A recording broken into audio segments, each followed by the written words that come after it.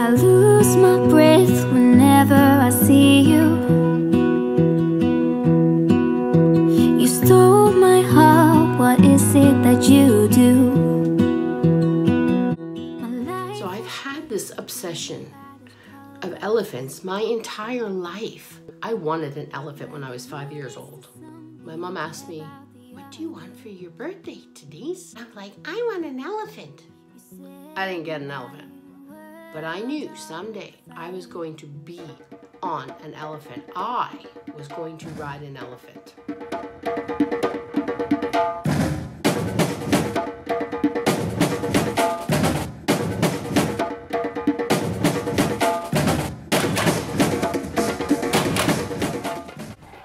In this video, I'm going to show you how easy it is to create this picture without having to know how to draw. I'm going to be using a mask and I'm going to show you that a little further into the video. Right now, I want you to have tons of fun. I want you to add paint, add colors, layers and layers of paint. I want you to splatter paint, brush paint, scrape paint. Just have fun. Is there a place with sun all year round and pina coladas faces and sand on the ground? I wanna stop this ongoing train I am using DIY paint and it's a clay based paint which allows me to build texture. You can purchase all of the products that I'm using here today on my website at iwanttocraft.com. Living the same every day. Come run beside me, let's take off. My friend was saying, hey, listen, we're taking the kids over to, um, it was like an African safari. She's like, do you want to come? And I'm like, yes, yes, I do. And they are doing rides. You could ride the elephant. Oh, yes. Oh, yes, that's me. I want to ride an elephant. Went and got a ticket. And I'm in line to ride that elephant. So now we've got tons and tons of color on here. We're going to use this mask. Now, this is cardboard, and I got this from the dollar store. And it's actually to go on your wall. But when I saw it, well, you know, I love elephants, right? So all we're going to do here is we're going to place it down and then we're going to paint around it. We're going to just white out the background. And then we're going to lift that masking off and voila, we're going to have a painted elephant.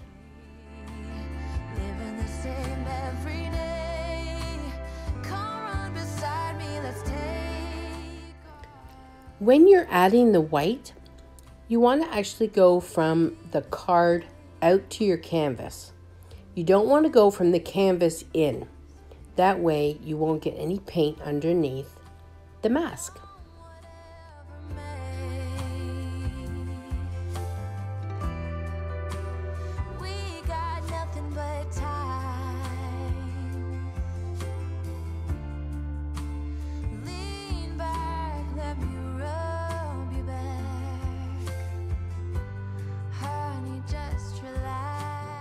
Okay, so you had to climb up this. It was like, it was a, because you have to get up on the elephant, right? So I climb it up. I stand there. I was so close. I had never been so close to an elephant in my life before. And I hopped on. And I'm like, oh my God. And there they took me around the little trail. It was riding that elephant. And I, it was something I have never forgotten.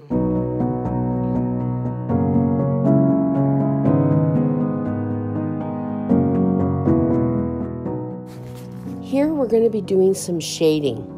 Right now it looks a little flat, but when you add some shading, it brings it to life. I'm using my Pitt pen, but you can use any kind of black marker that you have in your craft room. So I'm just going to go around here and just add shading where normally it would be. Basically, I'm just going to outline the elephant.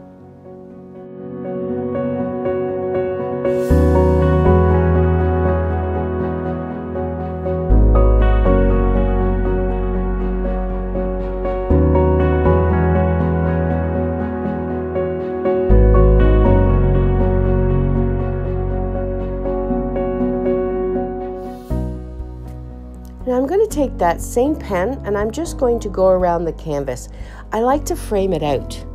Even though I'm probably going to use some vintage wood for an actual frame, I still like to add that in. Plus, I also like to add a little bit of golden ticket here and there. You can purchase all of the things that I've used here today at iwanttocraft.com.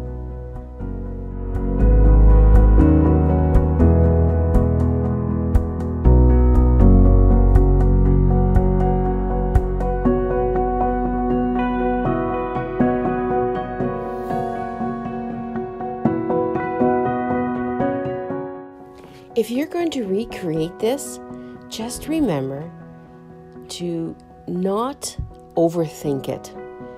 Just put color in.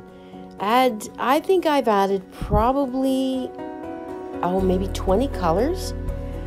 And just don't think about it. Just, just put it on and enjoy it. Enjoy the process of creating.